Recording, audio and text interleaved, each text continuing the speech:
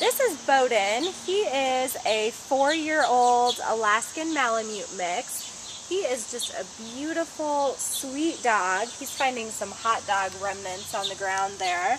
Um, and Bowden has been with us for quite some time now. He's a little bit shy, but a very, very sweet boy.